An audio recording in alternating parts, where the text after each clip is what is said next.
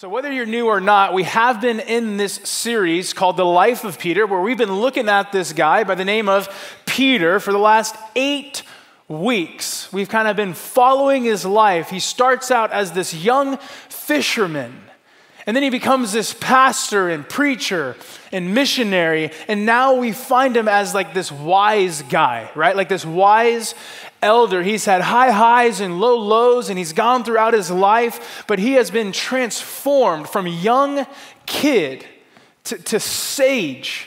To, to, this wise individual, and he gets to write down and share his wisdom with the next generation of Jesus followers. And he writes to us as well. So before we hop in and conclude this series, would you please pray with me. Father God, we love you and we praise you and we thank you. We thank you for the weather. We thank you for the beautiful day, God. I just thank you for these people here, your people, God, your church. I just pray that as we look into Scripture, Lord, you would just uh, uh, allow it to, to uh, transform us from the inside out, as, as you often do, God. You are the, the healer and the transformer of people. And so, God, we just pray that we would walk away better than when we came in. God, I just always ask that you would use me for these next few moments as we look and study your word and your truth. In Jesus' name we pray. Amen.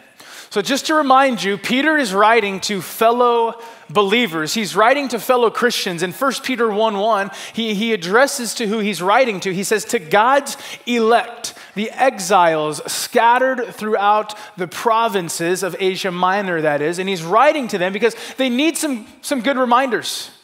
They're constantly facing opposition. And so imagine being a Jesus follower 2,000 years ago. That was not the politically correct thing to do. If you followed Jesus 2,000 years ago, it was not normal. You were the weirdo. Most people back then, they worshiped pagans, they, they worshiped false gods or idols or dozens or hundreds of different gods. If you claimed Jesus 2,000 years ago, people looked at you differently. And I think it's kind of the same for us today, is it not? Like if we tell our friends or our coworkers, hey, we follow Jesus, they might give you a little look. They, they might think, hey, you're the weird one. You're the not normal person. But the reality is there are more Christians on earth today than there ever have been. Now, nationally in the United States, some people think we're, we're on a decline with, with professing and confessing Christians. So that, that's a different story for a different day. But right now, we have more Christians on earth today, but yet we still have problems. We have more brothers and sisters in Christ today, yet we still face opposition and rejection. Why? Part of the issue, I believe, is that we have allowed the world the outside ungodly influences to determine how we think, what we think, how we act, and how we live. Some of us, we have allowed our friends to influence us in certain ways. We have allowed TV, social media, the news, CNN, and or Fox to teach us how to live. And if you have a student aged 10 to 25, they are getting their theology from TikTok. And that's a scary place. Let me tell you that.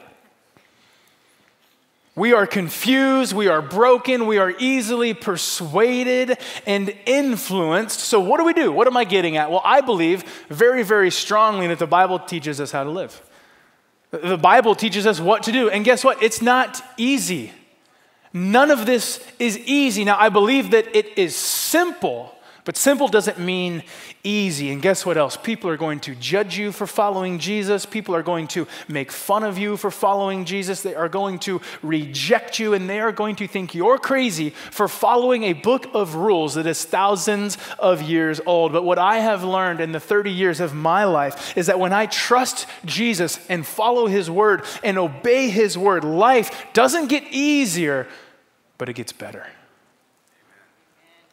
And so this is what Peter is getting at. He says, Hey, I know, I know things are tough. I know there's opposition. Uh, in fact, you've been exiled, you've been scattered about. And here's what I want you to know because the world says, do this, live this way, whatever it is, do it the way that you want to do it, do it the way that you see fit. But, but Peter is saying, man, Jesus tells us to live a different life. Peter is saying Jesus tells us to live differently. If you were here last week, this living different is known as living a life that is holy. Holiness means set apart, it means different. And Scott, Scott made us know that it, it, it doesn't mean perfect, but it means different. And if you were here last week, we read from 1 Peter chapter 2, and Peter was talking to his readers and his audience, and he said, You have to rid yourselves of malice, deceit, uh, hypocrisy, envy, and slander. Why? Because that's how the world lives. That's how the world acts. That is what is considered normal by worldly standards, but we are not of this world, and so therefore we can't look like everyone around us.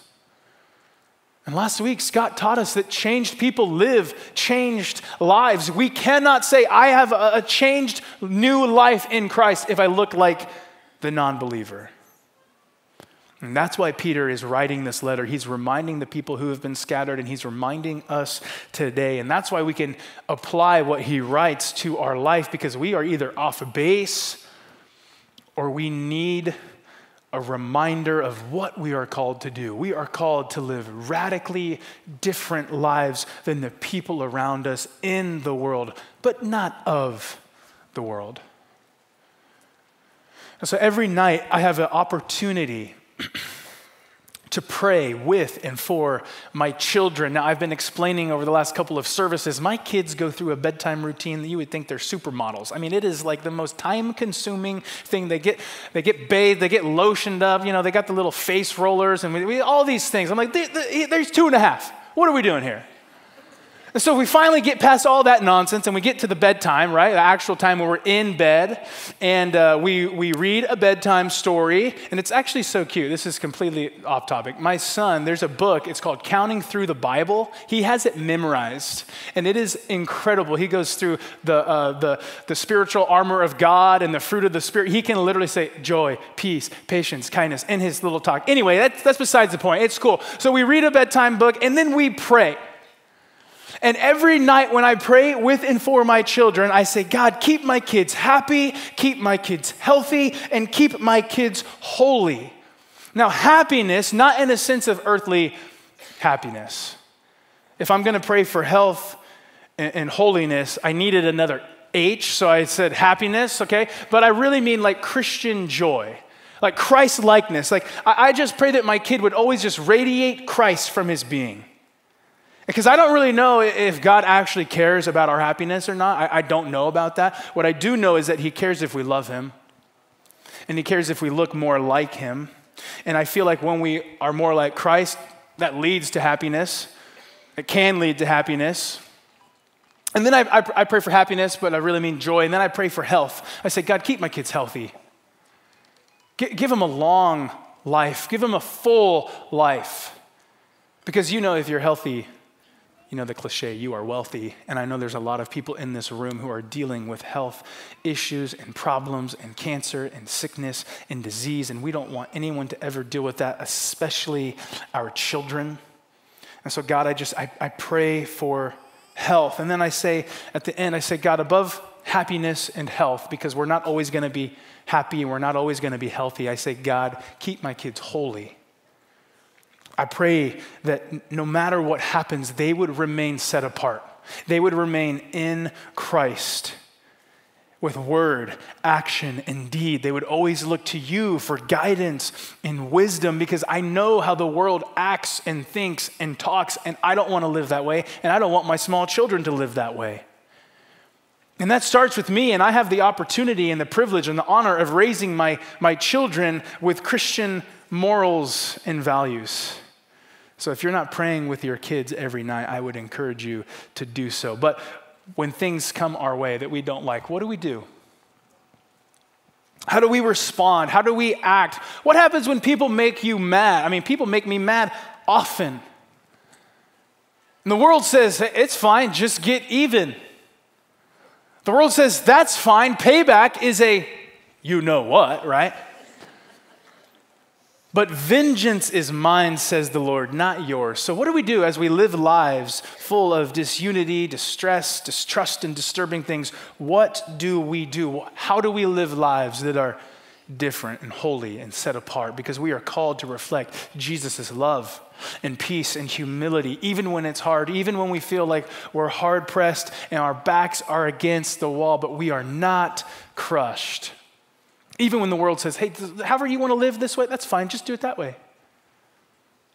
Last week, like I said, we, we read we are to rid ourselves of malice, deceit, hypocrisy, envy, and slander of every kind. Well, Mr. Peter, the wise guy, the sage, the elder, he writes us some more in 1 Peter chapter 3, starting in verse 8. This is what he says. He says, Finally, he says, All of you be like minded. Can you say like minded? He says, Be sympathetic. He says, Love one another. Be compassionate and humble. He says, Do not repay evil with evil or insult with insult. He says, On the contrary, repay evil with blessing. Repay evil with blessing because to this you were called so that you may inherit a blessing. For whoever would love life and see good days must keep their tongue from evil and their lips from deceitful speech. They must turn from evil and they have to do good. They must seek peace and pursue it. For the eyes of the Lord are on the righteous and his ears are attentive to their prayer. But the face of the Lord is against those who do evil. And then he says, who is going to harm you if you are eager to do good? But even if you should suffer for what is right, you are what? Blessed. He says, Don't fear their threats or be frightened.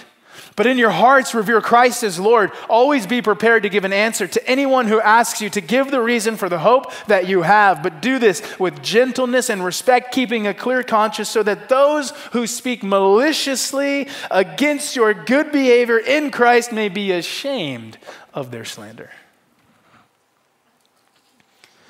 So Peter's writing, and he says, Finally, we've had eight weeks and we're leading up to this point. And he says, finally, it's the pinnacle of the letter. And it, and it still goes on, and there's some really good stuff in there. But we, are finishing it, it up right now. But he says, it's about time.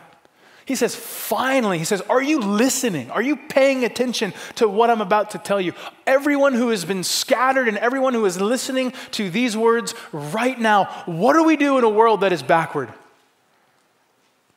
How do we live in a world where Jesus is not the priority. He says, be like minded. The Greek word there is homophron, and it means agreeing. It means together. It means having unity. He's saying have the same mindset. You don't have to agree 100% on everything because that's probably not possible, but we are to have similar thoughts. And then he says, be sympathetic. Sympathy means you share the experience. You share the experience. If someone is going through something, you don't just say, I'm sorry, I'm praying for you. You share the experience with them. You go through it with them. And then he says, you know what? You have to also love one another. And, you know, there's a lot of words for love in the Greek. This one is phileo, which means brotherly love, right? It's a Christian love. Love your brother, love your sister in Christ. There's no basis for any Christian living without loving one another. He says, be like minded, be sympathetic, love one another. And then he says, be compassionate and be humble. And the word for compassionate here is crazy. You want to know what it means? Literally, it means healthy bowels.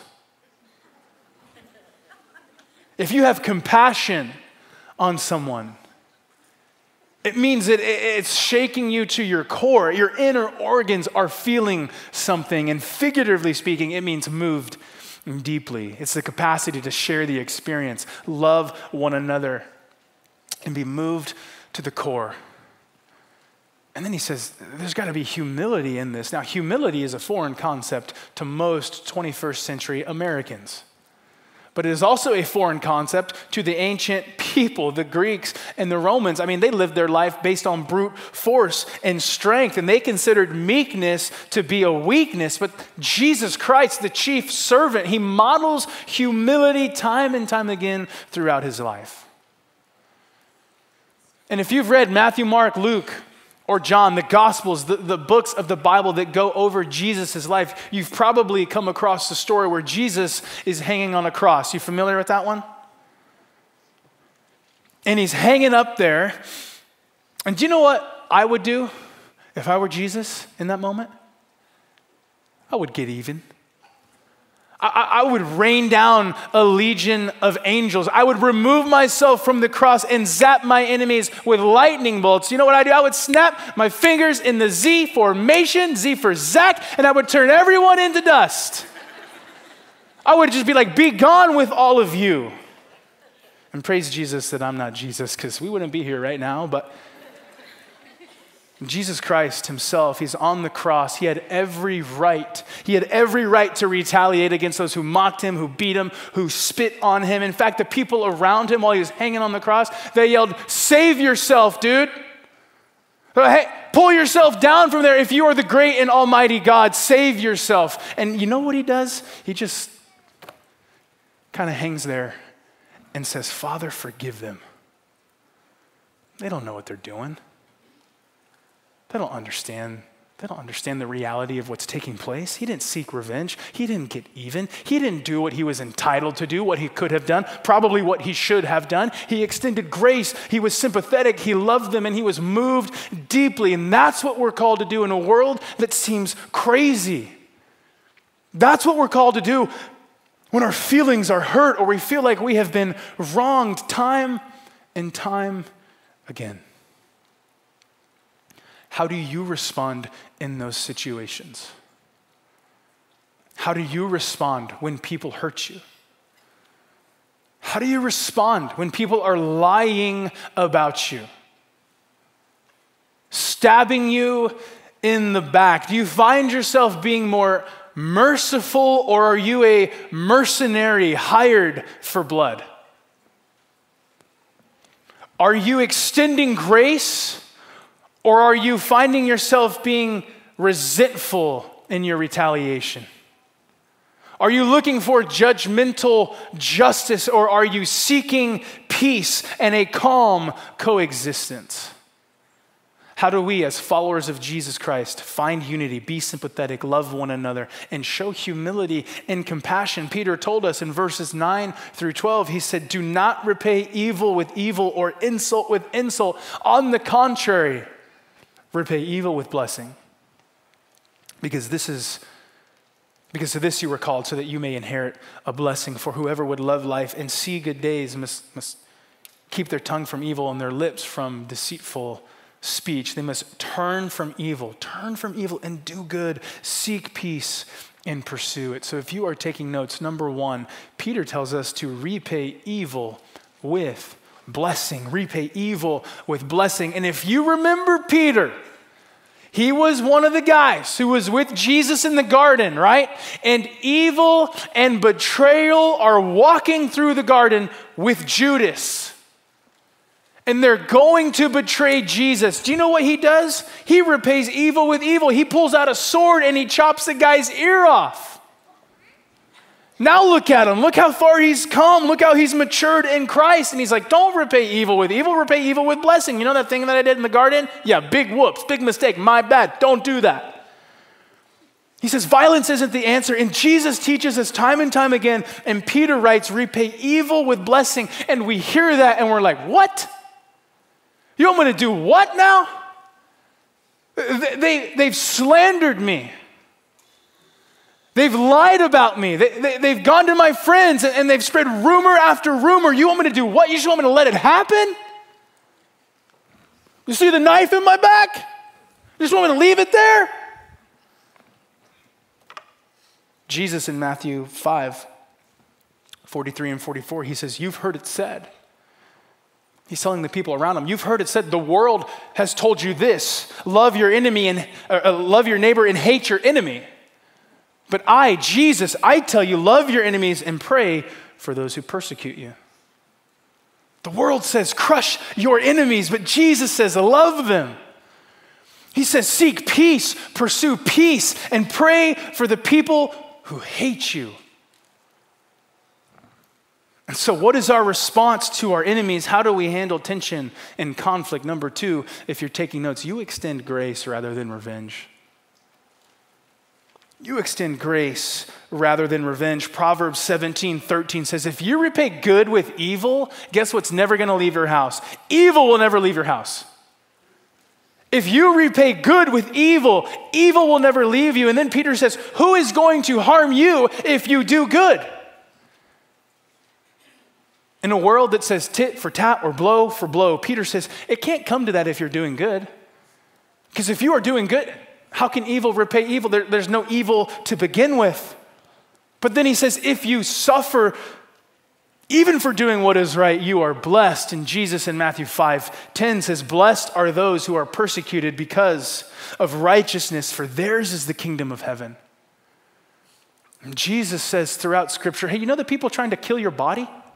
Yeah, don't worry about them. It's okay. Jesus in John, he says, Don't let your hearts be troubled.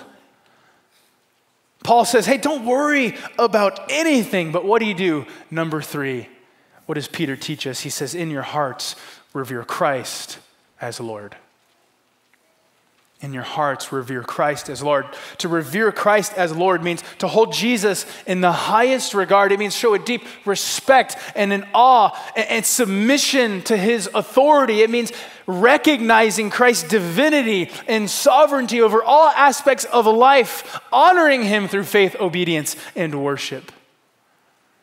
Revering Christ means that, we live in a way that reflects his teaching and trusts in his leadership and acknowledges his role as ultimate authority and Savior. And we do all of those things so that those who speak maliciously against our good behavior in Christ may be ashamed of their slander.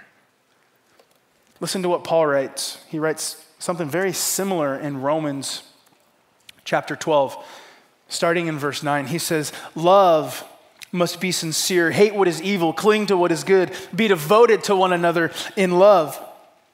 Honor one another above yourselves, never lacking in zeal, but keep your spiritual fervor, serving the Lord. Be joyful in hope, patient in affliction, faithful in prayer. Share with the Lord's people who are in need and practice hospitality. Bless those who persecute you. Bless and do not curse. Rejoice with those who rejoice and mourn with those who mourn. Live in harmony with one another. Do not be proud, but be willing to associate with people of low position and do not be conceited. Do not repay anyone evil for evil. Be careful to do what is right in the eyes of everyone. If it is possible, as far as it depends on you, what are you supposed to do? Live at peace with who? Some people. Live at peace, peace with just some people, right? Is that what it says?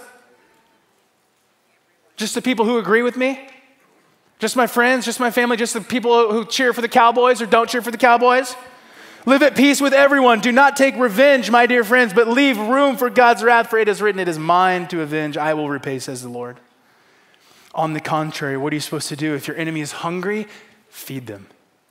If he is thirsty, what do you do? You give him something to drink. In doing this, you will heap burning coals on his head. Do not be overcome by evil, but overcome evil with good. Peter and, and Paul sound a lot alike in their passages. I think they were, were onto something. In a world full of retaliation, and where payback is normal, God calls us to a higher standard. He says, Be set apart, be holy, live different lives. It's a new standard of grace and mercy and forgiveness. And we know this is hard. We know this is challenging, or else we wouldn't be talking about it. But it comes from a heart that is fully surrendered to God. It comes from fully knowing Jesus Christ as Lord and Savior, where each day you make your relationship with Him the priority. You read His Word, you, you soak it up, you marinate in it, you pray without ceasing. You pray every single day, all day. Talking, conversing with the Creator of the universe, praying big prayers, and then you get to pick up your cross, your, your torture device, and you get to follow after God. No matter where He leads, no matter where He calls you, no matter what He says, you want to live holy lives, you want to live lives that are set apart, follow Jesus, and He will take you where you need to go. Not where we think we want to go, but where we need to go. And I think there's something powerful about a humble believer living with a deep sense of hope because it stands out in a world filled with fear and arrogance. And then people get to see us living with this peace and hope, especially in hard times, especially in times that don't make any sense, in difficult seasons and situations. And then they get to wonder where does that hope come from? And Peter has an emphasis. He says, when we share our hope, do it with gentleness and respect. Live with the hope and joy that comes from Christ and Christ alone. Let your life be so filled with Jesus that others notice and say, Why are you the way that you are? Have you ever said that about someone weird? Usually we say, Why are you the way that you are? We have to live life in a way where people are questioning, not because we don't have integrity, because it's so high because we don't talk like the world or act like the world or think like the world or live like the world. And then they say, Why are you so different? What makes you tick? What, what is wrong with you? And you say, It's because of my Lord and Savior Jesus Christ. And then you get to let your light shine in the darkness. And then you get to do it with humility. And you don't come across as prideful or pushy because that's what the world says to do. And you just love people through word, action, and deed the way Christ has called us to love each and every person. Now, if you can picture for just a quick second, imagine a lighthouse. Can you picture the lighthouse right now? It's, just, it's a lighthouse. Just imagine a lighthouse, okay? And, and it's kind of storming. Does the lighthouse scream, hey, watch out, there's a storm? No. What does it do? It shines. It, just, it just shines. It doesn't, it doesn't scream. It doesn't demand attention. It doesn't say, hey, watch out. It just shines. And, and I think in, in the shine, I think there might be a whisper that the lighthouse says, and it, it says, Here I am, safety is this way. Just, just come over here.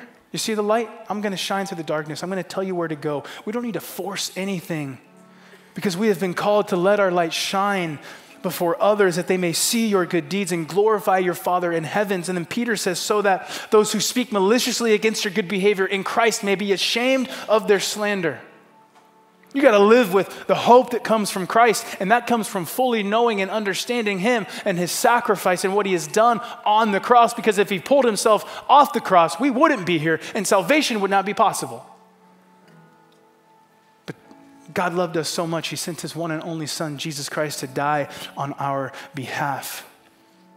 And then we get to follow Him as Lord and Savior and Shepherd and leader and King.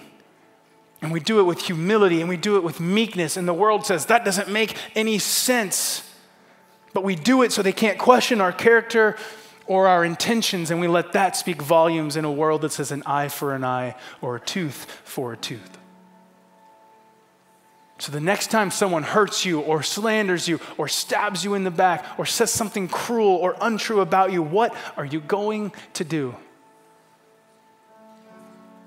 Peter writes, he says, repay evil with blessing.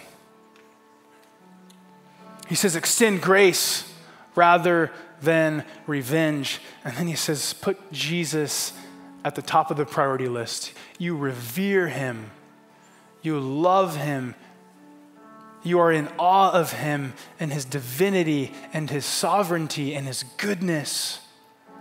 And so, for some of us right now, we might not have ever made the decision to follow Jesus for the first time. You, you might just be living the way that the world has been telling you and teaching you to live for so long. And if that's you, I, I just would ask and pray that think about what that looks like. Think about what the world is asking you to do and calling you to do. And then think about the opposite of that. And, and that's what Jesus is wanting not from you, but for you. Jesus wants everything for you. He wants the good things for you. He doesn't want anything from you. He wants you to be like Him and He wants you to be like Christ and, and to live for Him. So if you have never made a decision, you can make that decision today and you can accept Jesus as Lord and Savior and King of your life and you can be baptized in His name.